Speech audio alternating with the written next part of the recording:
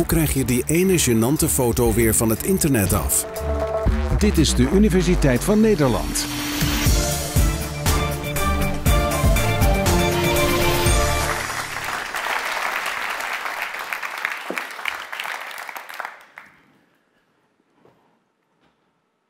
Vorig jaar, rond deze tijd, kerst om precies te zijn, is mijn zoontje Lucas geboren. En toen Lucas geboren werd, toen zijn navelstreng net was doorgeknipt, kreeg hij een klein polsbandje op met daarop zijn naam en een nummer.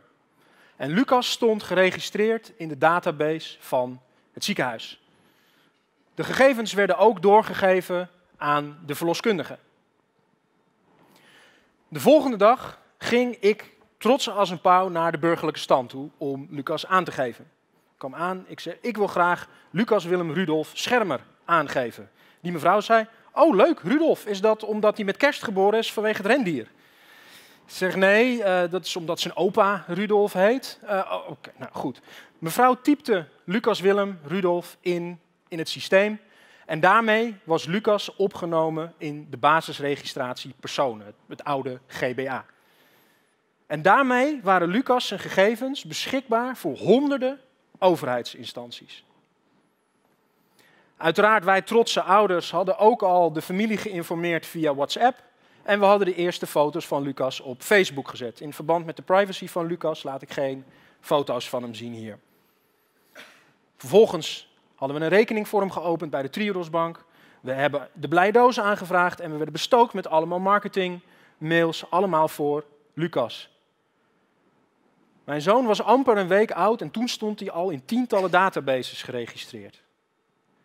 Tegen de tijd dat hij 18 is, zal hij waarschijnlijk in duizenden databases staan. Net zoals u allemaal hier ook in, nou zeg zo'n 1500 databases minimaal staat. Er is dus een gerede kans dat Lucas opgroeit zonder privacy. Of in ieder geval niet met de privacy zoals wij die nu kennen. Uh, ik vind dat een hele deprimerende gedachte, want privacy is wel ontzettend belangrijk. En mensen vinden privacy over het algemeen ook heel belangrijk. Um, ik wil even een test met jullie doen om te kijken hoe belangrijk privacy voor jullie is. Dus ik zou jullie willen vragen om allemaal te gaan staan en te gaan zitten op het moment dat ik iets zeg waarvan jullie zeggen dat zou ik niet op het internet willen hebben. Dat zou ik niet online willen hebben. Dus als u denkt van nou dat mag niet online van mij, gaat u zitten. Wie vindt het erg om zijn naam online te hebben? Er gaat al één iemand zitten. Wie van u vindt het erg om zijn e-mailadres online te hebben?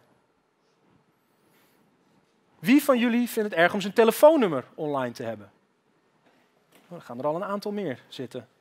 Uh, wie vindt het erg om zijn banksaldo online te zetten? Wie vindt het erg om zijn seksuele voorkeur online te zetten? Um, uw politieke voorkeur? Wie vindt het erg om zijn volledig medisch dossier online te zetten? Vindt u het erg om uw pincode online te zetten? Ja. Blijkbaar vindt u privacy allemaal in meer of mindere mate belangrijk.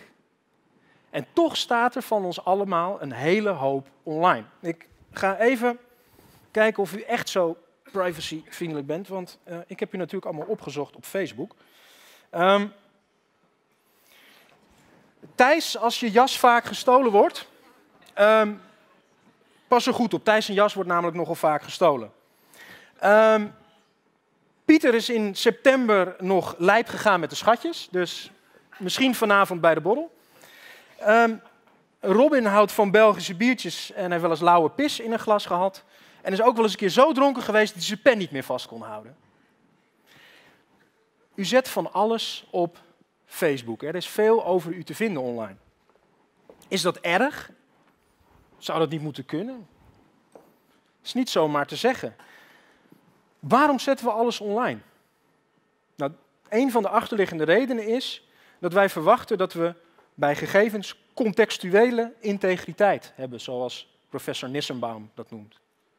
Gegevens die je in de ene context wel wil prijsgeven, bijvoorbeeld aan je dokter, je medisch dossier, wil je misschien niet in een andere context prijsgeven. Bijvoorbeeld op het internet of aan de Albert Heijn. Het lastige van gegevens, en met name gegevens op het internet, is dat die gegevens niet noodzakelijkerwijs zijn gebonden aan die context. En dat kan allerlei consequenties hebben.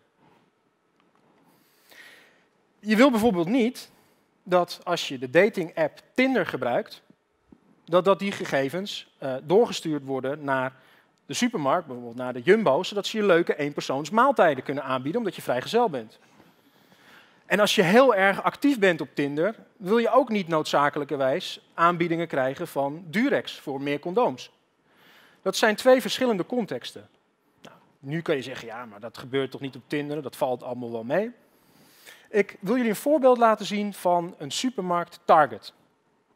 Target is een Amerikaanse supermarkt en die stuurde op een gegeven moment een marketingmail, geadresseerde marketingmail, naar een gezin in de VS. Alleenstaande vader met zijn 16-jarige dochter.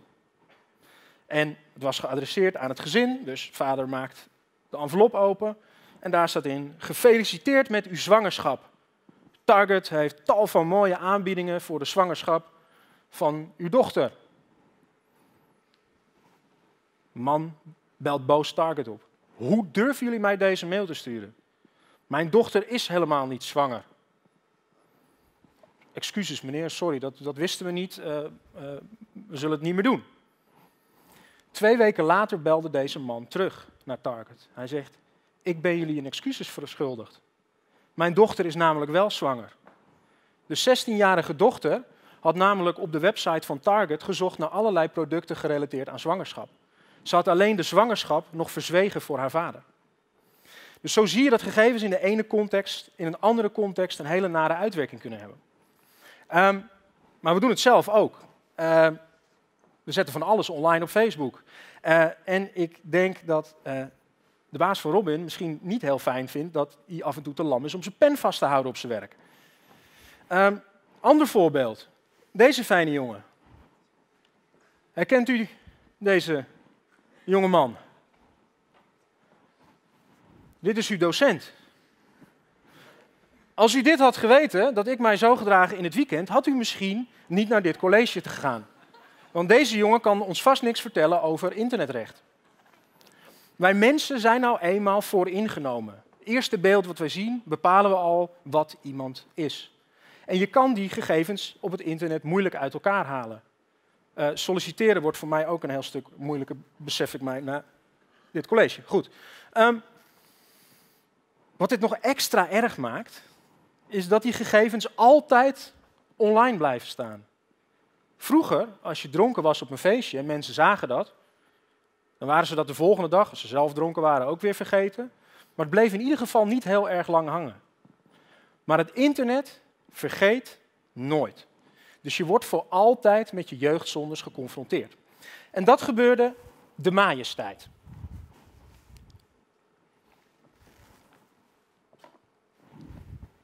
We hebben een plaatje van de majesteit. Daar zullen we ongetwijfeld voor vervolgd worden. Um, dit is de majesteit. De majesteit was, uh, of is een studente. En die was heel erg dronken en die lag half voorover in een plasje kots. En werd gefilmd met de telefoon door iemand. Ik ben ontzettend blij dat in mijn studententijd er nog geen mobiele telefoons waren. Um, werd gefilmd met die telefoon en ze keek in de camera en ze zei: Ik ben helemaal niet aan het kotsen.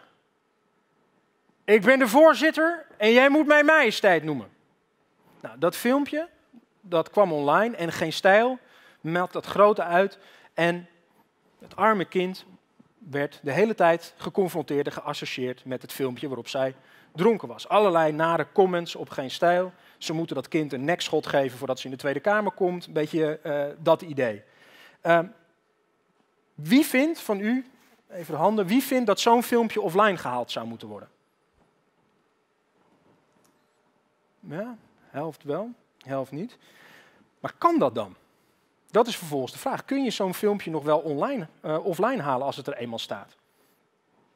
Hoe krijg je die gênante foto van jezelf weg? De majesteit heeft een rechtszaak aangespannen. Eerst had ze gevraagd aan Geen Stijl of ze die foto weg wilde halen. Dat wilde Geen Stijl niet doen.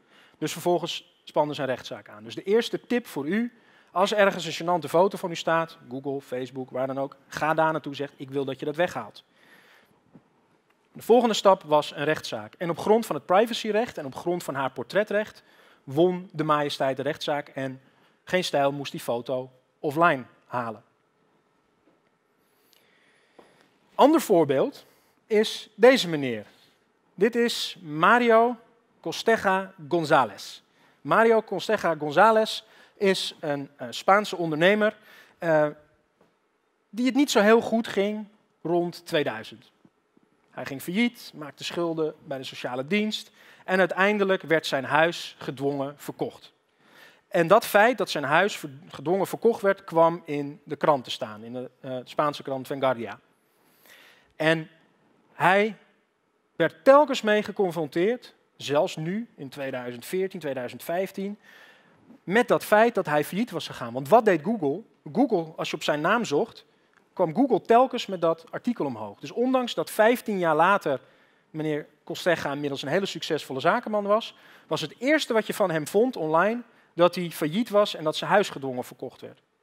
En hij was daar helemaal klaar mee.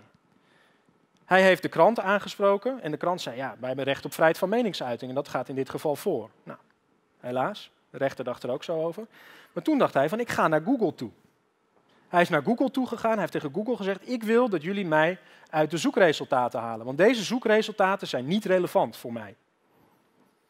Google weigerde dat en Costega ging naar de allerhoogste Europese rechter uiteindelijk. En daar kreeg hij van de Europese rechter kreeg hij gelijk. Google had geen belang om die informatie online te houden. Ook al was die informatie technisch gezien wel correct. Met die uitspraak kregen we het recht om vergeten te worden in Europa. Dus dat je voor je oude jeugdzonde en irrelevante informatie, dat kun je offline halen. En inmiddels zijn er 20.000 mensen in Nederland geweest die een dergelijk verzoek hebben neergelegd bij Google. Worden niet allemaal gehonoreerd, maar best wel een aantal wel. Dus op het moment dat die gênante foto online staat, kun je daar wat tegen doen. Je kunt naar het platform waar het op staat, je kunt een rechtszaak beginnen, je kunt naar Google toe. Maar wat doe je nou tegen bedrijven die jouw gegevens verzamelen in hun databases zonder dat je daar echt om hebt gevraagd? Nou, bedrijven moeten zich gelukkig aan de wet houden. In Nederland de wet bescherming persoonsgegevens. En die wet zegt eigenlijk, bedrijven mogen alleen gegevens verzamelen voor het doel waarvoor ze ze van aan u gevraagd hebben moeten ook noodzakelijk zijn. Ze mogen niet zomaar die gegevens uh, uitbreiden, ze mogen het ook niet zomaar voor andere doelen gebruiken. Dus die contextvervaging, dat is veel lastiger in een bedrijvencontext. Tenzij, en dit is een hele belangrijke tenzij, tenzij u daartoe toestemming geeft. Op het moment dat u toestemming geeft voor het verwerken van uw persoonsgegevens voor allerlei doelen, dan zegt de wet, dan heb je het zelf gewild en dan mag zo'n bedrijf dat. Um, wie van u leest alle privacy policies die u ziet? Even handen. Wie leest alle privacy policies? Niemand? Dat is toch bijzonder uh, on, uh, onhandig, want daar wordt die toestemming gevraagd. Ik ga akkoord met het verwerken van mijn gegevens voor marketingdoeleinden zoals beschreven in de privacy policy. U drukt op oké. U drukt ook zeker alle cookie-meldingen weg. Hè? U accepteert geen cookies? Nee, u drukt natuurlijk allemaal op oké. Iedereen drukt op oké.